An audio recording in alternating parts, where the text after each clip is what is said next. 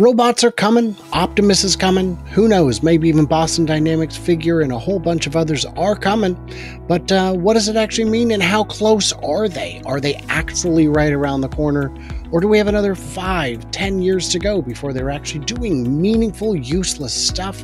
I brought on Jon Twigge to help me think about it and figure out what's what in the robotics field. I'm Brian. Welcome to Future You could so knock Jon, me down with a robot. Heck, I could.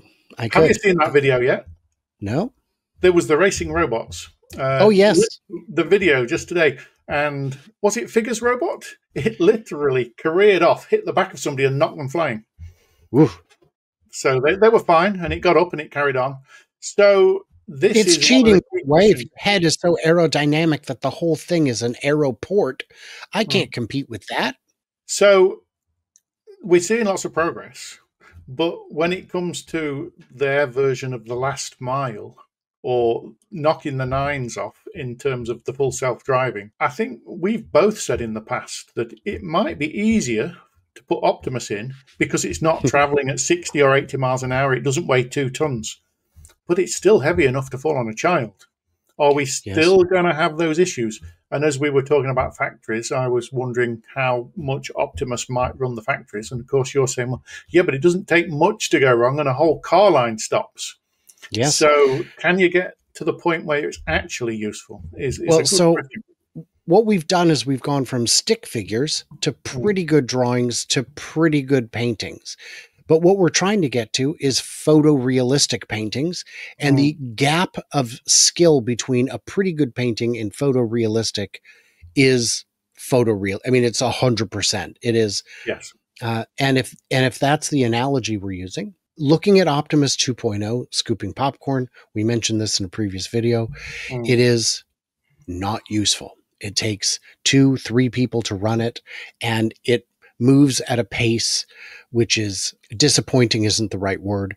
It's it's a novelty, it's a fun novelty. If it was working at that speed but autonomously, like completely hands off, no one watching it, no one in charge of it, it knows when to go plug itself in, it can uh, do all those things. I would say that's a really good demo. Now, what we what we got is ChatGPT moments. Right. ChatGPT moment of, of around two years ago or so now wasn't the beginning of ChatGPT.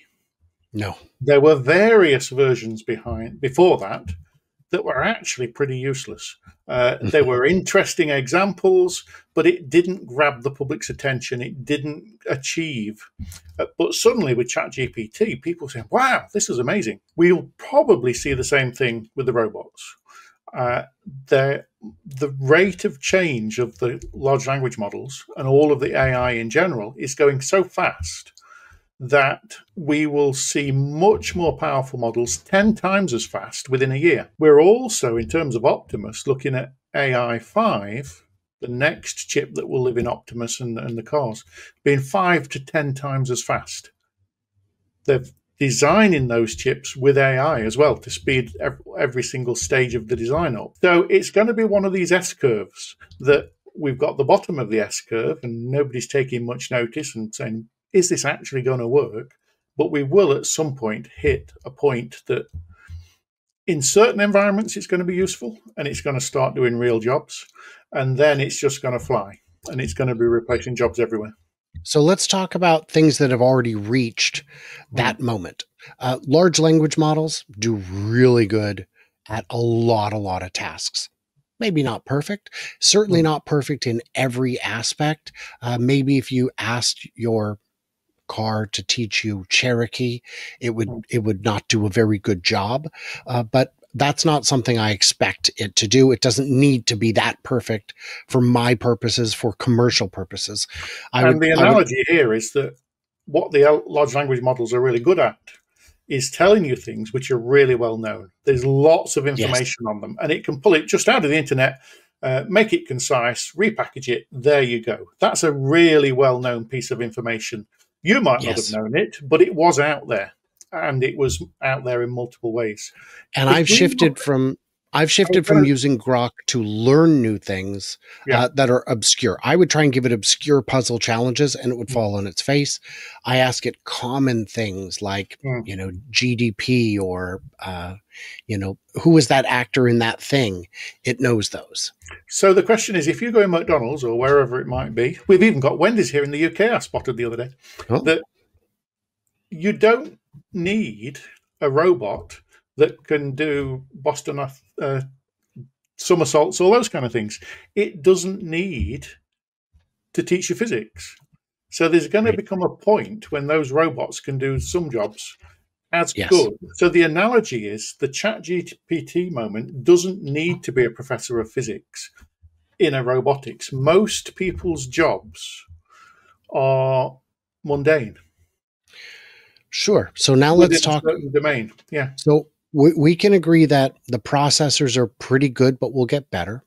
We can agree that the coding language it uses to interpret the world is pretty good, but it will get better. But now let's talk about the embodiment because I haven't seen evidence that the actuators are at a point to compete with humans. And I don't mean humans who are Hmm. highly skilled, I mean average humans. Do we know what kind of durability we're getting out of these joints and sockets and whatnot? Um, do we know, you know, how how long is this hand going to last? Mine heals. Theirs do not. Um, are they going to be needing to replace? You know, are the finger pads going to be consumable items? So let's, I mean, start there. The demos you've seen, do they rival humans? No, in terms of flexibility, but they're doing some tasks. But I think the key here is that Tesla is the manufacturer. We're seeing lots of Chinese demos doing all sorts of various things, but I would then question like if you sent for batteries over the internet from China a few years ago, you've got to be really careful you didn't set fire to yourself. Yes. I think we'll see the same thing with the robots. The robots might run for two hours, they might be dangerous. Uh, I think this is perhaps why Tesla's not, and Elon backed off those early ramps numbers for this year and next year uh, because they're hitting these challenges and working their way through them. Uh, but he's not backed off saying we're going to have Optimus at all. He's not pushing it back lots of years. It's just that, yeah, we're not going to hit the 10,000 in factories this year. Uh, maybe it's going to be next year.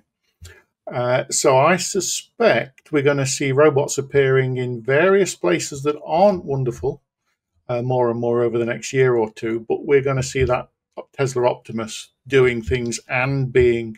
How long does a Model S last? I saw one had done a million miles the other day. Hmm.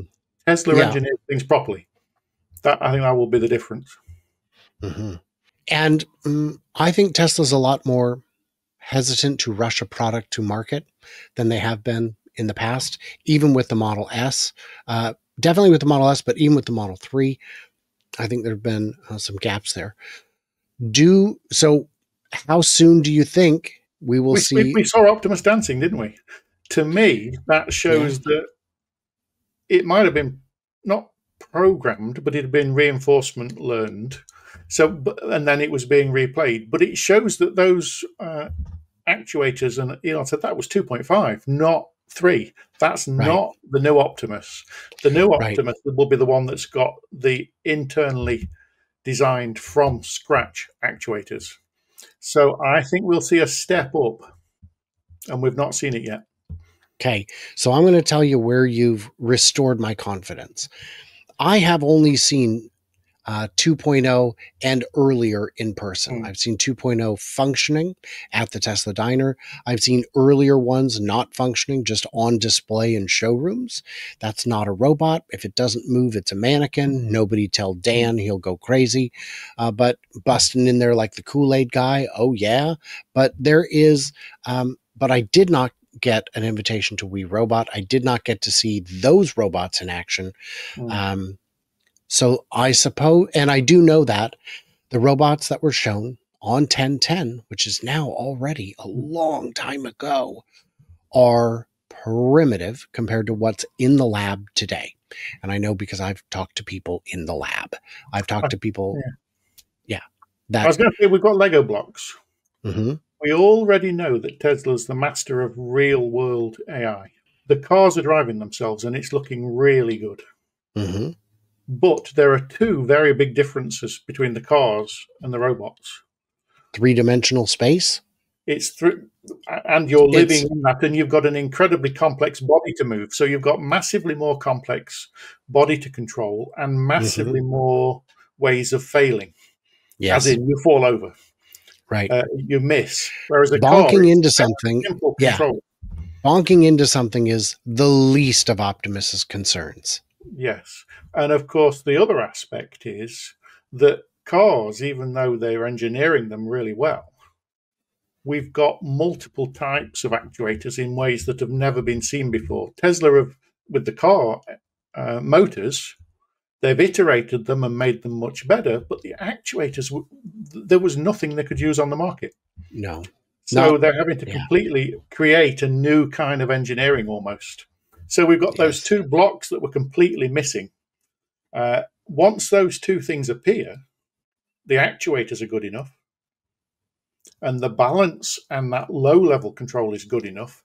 We've already got the high level intelligence that will have them cooking you dinner for 10 and doing the shopping. So they've just got to focus on those two missing chunks. And then, I mean, it's like you're trying to build Just- Lego, but just. you haven't got some of the bricks. You can't do Yeah. anything. It just falls over all the time, literally, in this case. Yes. I fear that just is doing too much heavy lifting. We're making soup and we're just missing two ingredients, but one of them is water. Uh, I don't think that's going to be a soup. I think we we have. I I've seen analysts and also people on YouTube who are you know the retail analysts having very lofty expectations. Even going back to the initial release, where people thought that the very first one we saw was going to be more Yeah. advanced than what we've seen even today. Yes. And uh, I think we need to temper our expectations. I think we need to, like FSD, wrap our heads around the scale of this complex problem. It Mm. is a massive undertaking. We are trying to do something that has literally never been done before. And But uh, I think the dancing is there. I think that particular block is getting close. It's a matter of integrating that into the higher level processes. What we haven't seen yet is, other than the hand just moving its fingers at We Robot, have we seen it since? I'm not sure we have much. I don't, I don't think so. No. So those new actuators, that's a real physical hard challenge for, for the uh, engineers. Uh, Yeah. I think that's the bit as you were saying about will the pads work? How, that's something that what will the durability be like? But Yeah. I think we'll see some really good demos in six months' time. guys, we got to wrap this up. I got too much other stuff to do. I'm a very, very busy and very important person, as you all know. That's why you're here. Hey, if you made it this far, if you're not subscribed, please do. Only about half of you are subscribed. If all of you subscribed, I could stop asking. Uh, it really helps out the channel. There are other ways to help out. You can uh, help me out on Patreon as a patron, on X as a subscriber, as on YouTube as a channel member. All of those tremendously helpful. That's how I'm able to go on these adventures. That's how I'm able to dedicate such an outsized percentage of my life to research. It's uh, just what I do. So, guys, uh, uh, you know, leave your comments in them comments. Leave it, leave it. You must. And everybody else, stay tuned, stay juicy, and I cannot wait to hear from you, clever robots, uh, when you arrive. I guess. Thank you, Brian. Wonderful to be here.